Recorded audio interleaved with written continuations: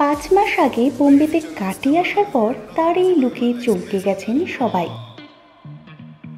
বাবা যাদবের ভিলেন ছবিতে একদম রাফ অ্যান্ড টাফ লুকে দেখা যাচ্ছে অঙ্কুশকে। তার হার্ড ওয়ার্কআউট সকলের কাছে একটা মোটিভেশন। অঙ্কুশ তার এই নিউ লুকের জন্য অ্যাপ্রিসিয়েশনও পেয়েছেন বহু। আপকামিং মুভি ভিলেনের গানের কিছু দৃশ্য শুটিং হবে কলকাতায় ও গোয়ায়। ভিলেন রোম্যান্টিক থ্রিলার মুভি এই ছবিতে অঙ্কুশের পাশাপাশি ঋত্বিকা সেন ও মিনি চক্রবর্তীকেও দেখা যাবে। অঙ্কুশের ব্যস্ত শিডিউলে সিনেমার পাশাপাশি একটি ডান্স রিয়েলিটি শো ছিল।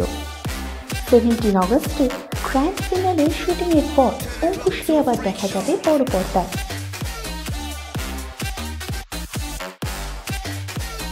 আমাদের তরফ থেকে টিম ভিলেনকে অনেক শুভেচ্ছা।